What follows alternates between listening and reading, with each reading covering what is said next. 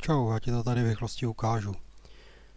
Prostě otevřeš si font, kde ho máš, takže já ho tady mám někde na, des, na ploše. Good girl. No a tady vidíš písmena, který máš a ty, který nemáš. Jo, a teď si třeba chci udělat dlouhý A, tak si tady takhle přetáhnu Ačko. Dělám CTRL-C, přepnu se tady na to, dám CTRL-V a mám tam Ačko.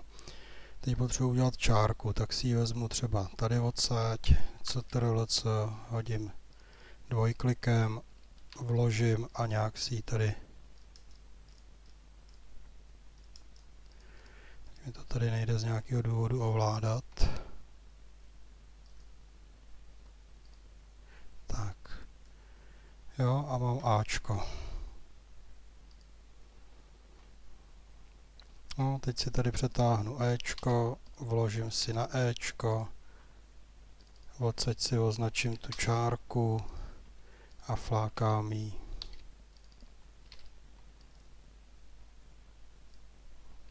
No, tady to můžeš normálně zmenšovat, zvětšovat. A úplně to tady z hlavy neumím, se přiznám, ale dělal jsem celý fonty. No takhle by si sjel písmenko po písmenku.